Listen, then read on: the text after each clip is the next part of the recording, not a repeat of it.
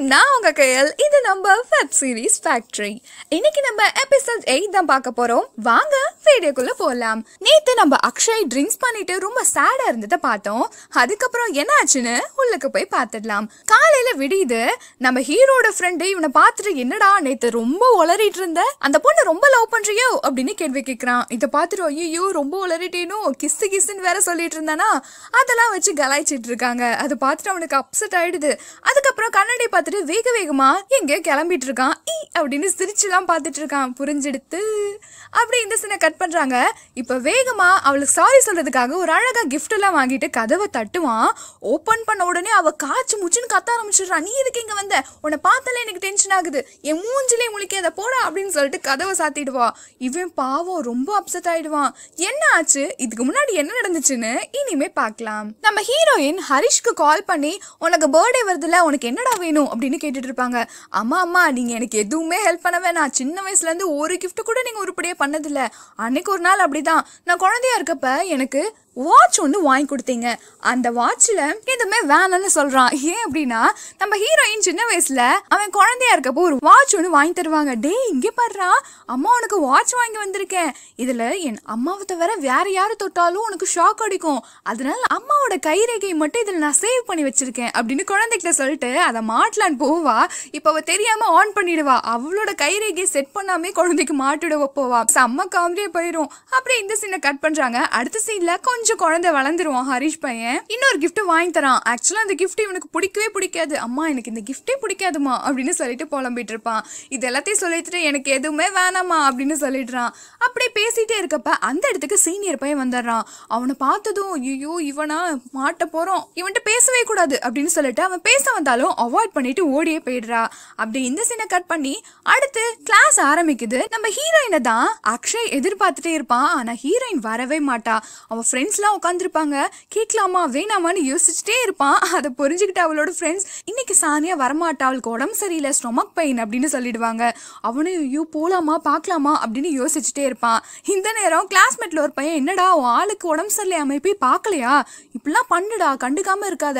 அதுவும் இல்லாமல் ஹாஸ்டல் வாசலில் ஒரு அழகான பையன் சுற்றிட்டே இருக்கானா சானியா சானியான்னு கொஞ்சம் பார்த்துக்கடா அப்படின்னு சொல்லிட்டு வெறுப்பேற்றிட்டு போகிறோம் ஐயோ நம்ம போகலன்னா அவன்கிட்ட பேச ஆரம்பிச்சிருவாளு? அப்படின்னு ஒரு பயத்தில் வேகமாக மெடிக்கல் போய் அவளுக்கு டேப்லெட்ஸ் எல்லாமே மருந்தெல்லாம் வாங்கி கொடுத்துட்டு ஹாஸ்டல் வாசல்ல நின்றுட்டு இருப்பான் இதை பார்த்துட்டு சானியாவும் வரா இந்த மருந்துன்னு சொல்லிட்டு மருந்து கொடுக்குறான். இவன் ரொம்பவே கேரா பேசிக்கிறான். உடம்ப பாத்துக்கோ அதுவும் இல்லாம இது மாதிரி சின்ன விஷயத்துக்குலாம் நீ வந்து லீவ் போடாத. நல்லா படி. கிளாஸ் எல்லாம் கட்டடிச்சின்னா பின்னாடி உனக்கு செமஸ்டருக்கு தான் ரொம்ப சிரமமா போயிடும். அதே சமயம் உடம்பையும் பாத்துக்கோ இந்த அந்த டேப்லெட்ஸ் எல்லாமே போட்டுக்க அப்படின்னு சொல்லிட்டு கேரா பேசுறான். இதை பார்த்துட்டு அவளுக்கு ரொம்பவே கஷ்டமாகுது. சாரி அன்னைக்கு நான் உன்கிட்ட கோவமா நடந்துக்கிட்டேன் அப்படின்னு சொல்றா. அதுக்கு அப்படியே ரெண்டு பேருமே பரவாயில்ல இருக்கட்டும். அப்படின்னு சிரிச்சுட்டு ரெண்டு பேருமே ராசி ஆயிடுறாங்க. அப்படி இந்த சீன் கட் ஆகுது. அடுத்த சீன்ல இவன் வந்து பேசினது எல்லாத்தையுமே அவனோட பையன் கிட்ட கால் பண்ணி சொல்லிட்டு இருப்பா. இப்படி பேசிட்டு இருக்கப்ப கரெக்டா அந்த இடத்துக்கு அந்த சீனியர் பையனும் வந்துடுறான். இவள் டார்ச்சர் பண்ணிட்டே இருக்கான். வந்து வந்து பேசிட்டே இருக்கான். நான் உன்னை லவ் பண்றேன். நீ ஏன் நான் கண்டுக்கவே மாட்ற? அப்படின்னு கேக்குறான். லவ்வா நான் வேற பையனை லவ் பண்ணிட்டு இருக்கேன். எனக்கு உன் மேல இன்ட்ரெஸ்டே இல்ல அப்படின்னு சொல்றா. உடனே என்ன பேசிட்டு இருக்க? எனக்கு உன்னை ரொம்ப பிடிச்சிருக்கும். ப்ளீஸ் அக்செப்ட் பண்ண அக்செப்ட் பண்ணேன்னு கெஞ்சுறான். ஹலோ எனக்கும் உன் மேல இன்ட்ரெஸ்டே இல்ல. நான் வேற ஒருத்தவரை லவ் பண்ணிட்டு இருக்கேன் அப்படின்னு சொல்றான். அப்படி இந்த சீன் கட் பண்ணா அடுத்த சீன்ல நம்ம ஹீரோ தான் காட்டுறாங்க. ஹீரோ லேப்ல உட்காந்து இன்ட்ரெஸ்டா ரிசர்ச் பண்ணிட்டு இருப்பான் இப்ப அந்த இடத்துக்கு நம்ம ஹீரோ வரான். சானியாவை எதுவும் பாத்தியா? காலையில பேசினது. அடுத்த சீன்ல நம்ம ஹீரோ தான் காட்டுறாங்க. ரெண்டு ஹீரோவும் பேசிட்டு இருக்காங்க அப்ப டேபிள் மேல பில் இருக்கிறத பார்த்துட்டு மெடிக்கல் பில் இருக்கிறத பார்த்துட்டு யாருக்கு உடம்பு சரியில்லை உனக்கா அப்படின்னு கேக்குறான். இல்ல எனக்கு இல்ல சானியாக்கு அப்படின்னு சொல்றான். சானியாக்கா என்னாச்சு அப்படின்னு பதட்டப்பட்டு வேகமா ஓடுறான். இப்ப இவையே இவ்வளவு வேகமா ஓடுறான் அப்படின்னு நம்ம அக்ஷய் ஹரிஷை கவனிச்சிட்டு இருக்கான் இங்க ஹரிஷ காட்டுறாங்க எப்படியாவது அவளுக்கு என்ன ஆச்சுன்னு கண்டுபிடிக்கணும்னு சொல்லிட்டு நேரா ஹாஸ்டலுக்கே வந்துடுறான். ஹாஸ்டலுக்கு போய் பிள்ளைங்கள்ட்ட கேக்குறான் எங்களுக்கு தெரியல லைட்டா ஸ்டொமக் பெயின் தான் சொன்னா ஆனா இப்ப அவ இங்க இருக்கான்னு எனக்கு தெரியல அப்படின்னு சொல்றா. உடனே கால் ட்ரை பண்ணி பாக்குறான் அவர் ரீச் ஆகவே மாட்டேங்குது. இப்ப கரெக்டா ஹாஸ்டலுக்கு வெளியில வந்து பார்த்தா பொண்ணுங்க எல்லாம் ஏ செம்ம ப்ரொபோசல் அடி அப்படின்னு பேசிக்கிட்டே போயிட்டு இருக்காங்க இவனுக்கு பயம் வர ஆரம்பிக்குது. அங்க கூட்டிட்டு இருக்க ஒரு ஆன்டிட்ட போய் ஆன்டிங்க என்ன நடந்துச்சு? அப்படின்னு கேக்குறாங்க.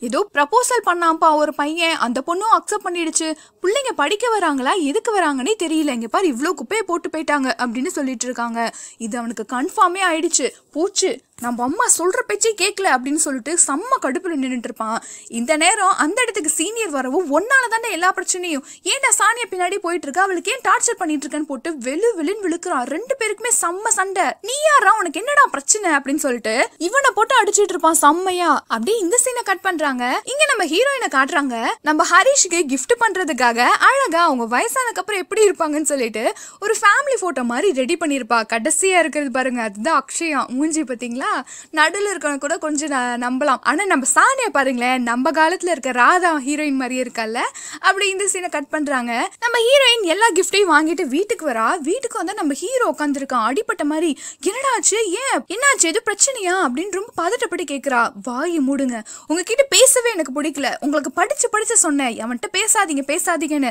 கரெக்டாக அவன்கிட்ட போய் ஊர் சுத்திட்டு வரீங்களா? உங்களை படிக்க தானே காலேஜுக்கு அனுப்புறேன் அப்படின்னு ரொம்பவே கத்த ஆரம்பிச்சிடுறான். என்னடா ரொம்ப பேசிட்டு இருக்க? உனக்கு தெரியுமா என்ன நடந்துச்சுன்னு? அப்படின்னு கத்துறாங்க. இப்படி ரெண்டு பேரும் மாத்தி மாத்தி பேசிட்டு இருக்காங்க. உங்களுக்காக ஒவ்வொரு விஷயமும் பார்த்து பார்த்து பண்றேன் இல்லமா என்ன சொல்லணும்? அப்படின்னு சொல்லிட்டு கோமா கத்த ஆரம்பிச்சிடுறான். ஆக்சுவலா நம்ம ஹீரோ என்ன நினைக்கிறான் அப்படின்னா கிளாஸ் எல்லாம் கட்டடிச்சிட்டு அவன் கூட தான் சுத்திட்டு இருக்கா அக்ஷய் கூட பேசுறது இல்ல அப்படின்னு நினைச்சிட்டு இருக்கான். அதனால கோவத்துல கத்திடவும் அவளுக்கும் தெரிஞ்சிடவும் ரொம்பவே அழுக ஆரம்பிக்கிறா. நம்ம ஹீரோ பாவம் செம்மைய புடிச்சு திட்டிட்டு வீட்டு விட்டுட்டு வெளியில வந்துடுறான். இந்த நேரம் தான் நம்ம ஹீரோ கதவு தட்டியிருப்பான். அப்ப திறந்து பார்த்தப்பதான் நீ எதுக்கு இங்க வந்த? அப்படின்னு சொல்லிட்டு செம்மையா திட்டிருப்பா அப்படி இந்த சீனை கட் பண்றாங்க. அடுத்த சீன்ல நம்ம ஹீரோ வேகமா நர்ஸ் வீட்டுக்கு தான் போயிட்டு இருக்கான். அங்க போயிட்டு நான் உனக்கு எல்லா விஷயம் சொல்றேன். எனக்கும் சானியாக்கும் பிரச்சனை ஆயிடுச்சு அப்படின்னு சொல்லுவா. இப்ப அவன் ஃபேஸ்ல எல்லாம் அடிபட்டிருக்கும் அதை பார்த்துட்டு அவளும் ரொம்ப பயந்துடுவா. இப்ப கரெக்டா நர்ஸுக்கு ஒரு மெசேஜ் வரும். சானியா தான் பண்ணிருப்பான் நான் மேல வரேண்டி உங்க வீட்டுக்கு அப்படின்னு சொல்லிட்டு இருப்பா. வீட்டுக்கு வந்துட்டு தேம்பி தேம்பி அழுகுறா. எனக்கும் என் கசினுக்கும் சண்டடி. அவன் என்னை இப்படிலாம் கேட்டுட்டான். எவ்வளோ எவ்வளவு தப்பா பேசினா தெரியுமா? நான் சொன்னேன். நான் சீனியர் கிட்ட பேசவே இல்லைன்னு. ஆனா அவன் நம்பவே மாட்டான்டி அப்படின்னு சொல்லிட்டு செம்மையா அழுதுட்டு இருக்கா.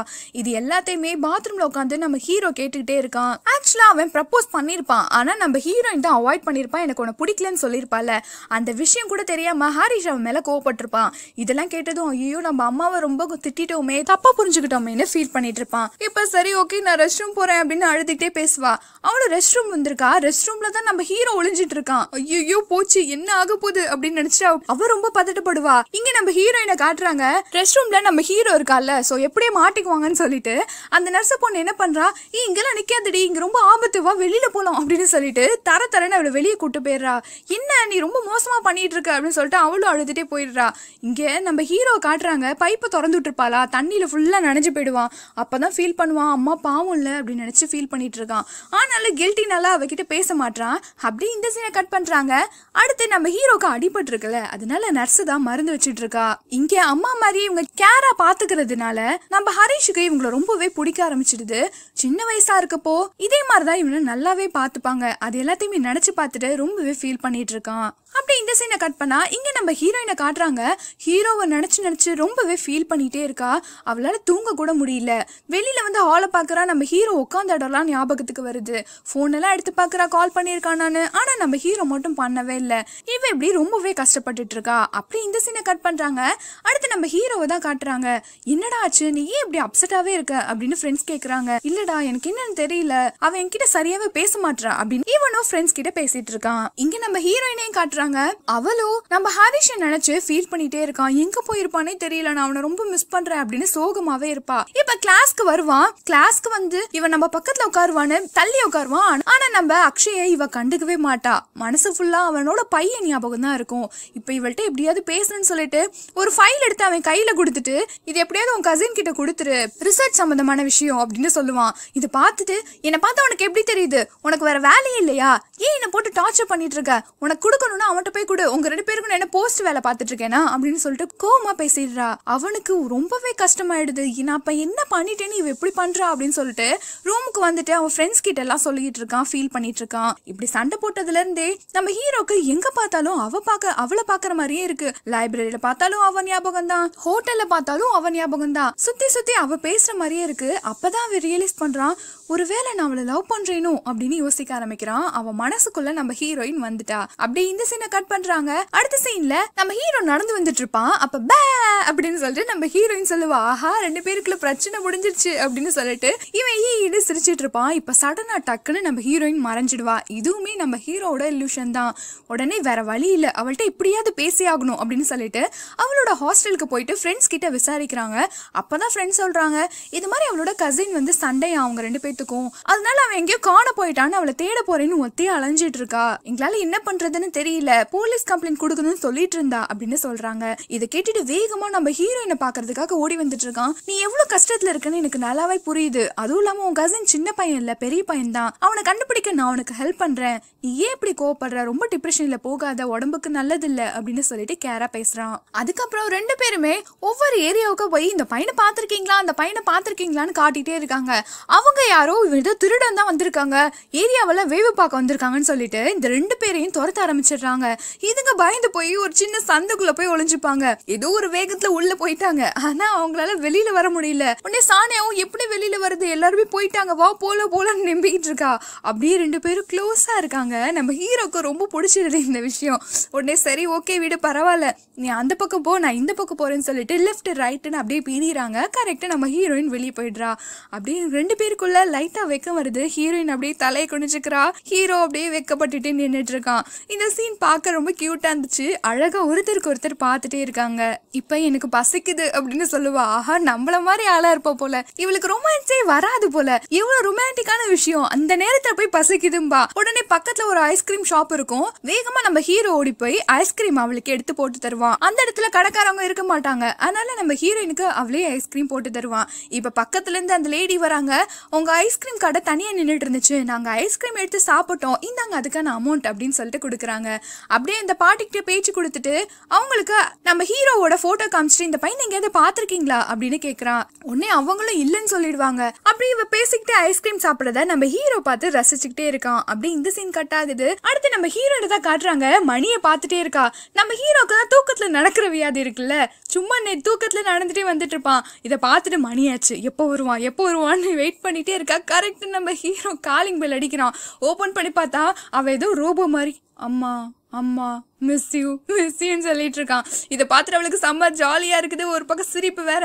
மொபைல் எடுத்துட்டு அவன் பண்ணுறதெல்லாம் வீடியோ எடுத்துகிட்டே இருக்கா அம்மா மிஸ் யூமா அப்படின்னு சொல்லிட்டு இது ஒரு கோட் வேர்ட் மாதிரி ஏதோ ஒரு விஷயம் நிறைய சொல்லிட்டு இருக்கான். அதை பார்த்துட்டு அவன் உளுந்துருந்து சிரிச்சுக்கிட்டு அவன் பண்ணுறதெல்லாம் வீடியோ எடுத்துகிட்டே இருக்கா. இதோட எபிசோட் எயிட் முடியுது. நாளைக்கு நம்ம எபிசோட் நைன் டென் பார்த்துடலாம். நம்ம வீடியோஸ் உங்களுக்கு பிடிச்சிருந்தா லைக் பண்ணுங்க கமெண்ட் பண்ணுங்க. மறக்காம சப்ஸ்கிரைப் பண்ணிடுங்க. Okay friends bye